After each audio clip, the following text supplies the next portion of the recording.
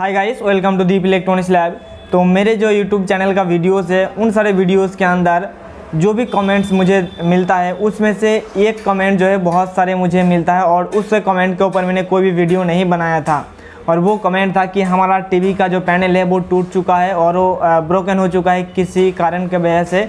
तो हम उसको रिपेयर कैसे करेंगे और उसको रिपेयरिंग करने का जो खर्चा है वो कितना आता है? वीडियो पसंद आए तो लाइक कर दीजिएगा उसके बाद चैनल को भी सब्सक्राइब कर लीजिएगा अगर आपने अभी तक नहीं किया है तो। तो ये मुझे बहुत सारे क्वेश्चन मिला है मेरे मेल के ज़रिए भी बहुत सारे मिला है मुझे इंस्टाग्राम पे भी बहुत सारे मैसेजेस मिला है और फेसबुक पे भी मैसेजेस मिलते रहते हैं। तो आज की इस वीडियो में मैं आपको बताऊँगा कि ये जो आप सोनी का टीवी देख रहे होंगे बिल्कुल एकदम ओरिजिनल टीवी है, जिसके अंदर ये देख सकते हो पैनल हमारा ब्रोकन हो चुका है, ये मतलब गिर गया था। उसके बाद देख सकते हो, यहाँ पे बहुत ज़ोर से किसी चीज़ के साथ टकराया है। उसके बाद हमारा जो पैनल है, वो कुछ इस प्रकार से हो गया है। देख सकते हो, हमारा इस साइड में थोड़ा थोड़ा सा आपको दिखाई दे रहा होगा ग्राफिक्स लेकिन यहाँ पे बिल्कुल भी आपको दिखाई नहीं दे रहा होगा। लेकिन जो इसका बैकलाइट वगैरह है, बिल्कुल सही है। और ये जो पैनल है रिपेयर के लायक नहीं है। क्योंकि ये सारे ये मतलब पूरा पैनल ये टूट चुका है मतलब क्रैक हो चुका है। तो इसको रिपेयरिंग करने के लिए कोई भी हमें रास्ता नहीं है। तो इसको रिपेयरिंग करने के लिए हमारे पास एक ही रास्ता बचता है, वो है पैनल को रिप्लेस करके नया पैनल लगाना। और हमें अगर नया पैनल लगाना है तो आपको जाना होगा टेक्नीशियन के पास। और अगर आप खुद ही एक टेक्नीशियन हो, जो इस वीडियो को देख रहे होंगे तो उनके पास एक दिक्कत आ जाती है कि हमें जो भी कंपनी का टीवी मिलता है एल सी डी होता है, उसका पैनल मार्केट से अच्छे से नहीं मिलता है। मतलब जो भी मार्केट में पैनल मिलता है, वो सिंगल कॉप का, डबल कॉप का, इस प्रकार से मिलता है, ऐसे मतलब पैनल।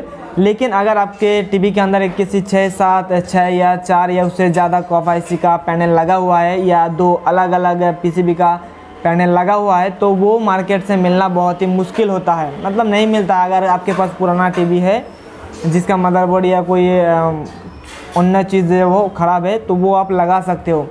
लेकिन अगर आपको इसको मार्केट से नया ख़रीदना है तो आपको नहीं मिलता है। मतलब मैक्सिमम केसेस में नहीं मिलता है। तो इसके लिए आपको देखना होगा कि इस जगह पे आ, क्या कौन सा पैनल लगाया जा सकता है। तो आज के इस वीडियो में आपको यही बताना था कि अगर आपका एल सी डी टी का पैनल ख़राब हो जाए तो उसको रिपेयरिंग करने का कोई भी आ, मतलब रिपेयरिंग वो तो नहीं होगा आपको नया पैनल पैनल लगाना होगा। तो इसके लिए आपको बहुत सारे जो खर्च करना होता है क्योंकि इस टीवी के अंदर जो भी चीज़ें हैं सबसे ज़्यादा जो महँगा चीज़ है वो हमारा पैनल है।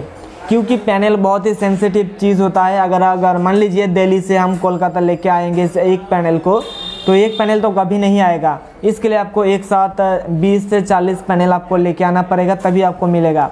और अगर फिर से कोलकाता से अगर आपके घर है या गाँव है, वहाँ पे अगर लेके जाओगे एक पीस तो इसके लिए आपको मतलब बहुत खर्चा हो जाता है, क्योंकि ये सेंसिटिव चीज़ होता है तो इसको अच्छे से लेके आना पड़ता है। इसलिए जो पैनल का जो रिपेयरिंग कॉस्ट है, यानी कि चेंज करने का जो कॉस्ट है, थोड़ा सा ज़्यादा होता, हो जाता है। अगर मान लीजिए अगर कोलकाता में आपको किसी भी panel thirty two inch panel को रिप्लेस करने के लिए आपको खर्चा होगा साढ़े तीन हज़ार से चार हज़ार रुपीज़ अगर वही सेम चीज़ अगर आप गाँव में करोगे तो आपको पाँच हज़ार से भी ज़्यादा खर्च हो सकता है, पाँच, छः, सात, इस प्रकार से हो सकता है। तो आपके ऊपर डिपेंड करेगा कि आप जो मेन सिटी है आपका, उस सिटी से आपका घर कितना दूर है, उसके हिसाब से आपका जो पैनल का है वो खर्चा होगा।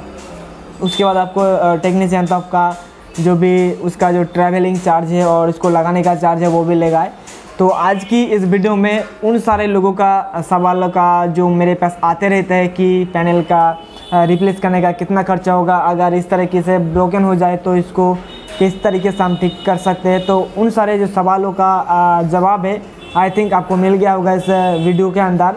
तो अगर आप मेरे चैनल को अभी तक सब्सक्राइब नहीं किया है तो सब्सक्राइब कर लीजिएगा, क्योंकि हम बहुत ही जल्द इस टीवी को रिपेयर करेंगे यानी कि इस जो पैनल यहाँ पे ब्रोकन पैनल है इस पैनल को हम रिप्लेस करके नया पैनल डालेंगे और उसका जो प्रोसेस है फुल प्रोसेस स्टार्टिंग से लेकर एंड तक क्या क्या करूँगा इस टीवी के साथ? अगर हमें इस सेम पैनल ना मिले तो तब हम क्या करेंगे? अगर इस पैनल को दूसरी कोई पैनल अगर आपको फिट करना है तो आपको किस तरीके से करना है? वो सारे प्रोसेस आपको नेक्स्ट वीडियो में यानी कि जब हमें पैनल मिल जाएँगे तब आप, आपको बताएँगे।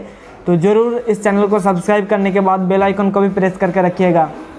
थैंक यू इस वीडियो को आखिर तक देखने के लिए अगर आपके मन में कुछ भी सवाल है तो नीचे कमेंट करके बता सकते हो और अगर आप मेरे से पर्सनली कांटेक्ट करना चाहते हो तो नीचे मेरा इंस्टाग्राम और फेसबुक का लिंक दिया हुआ है।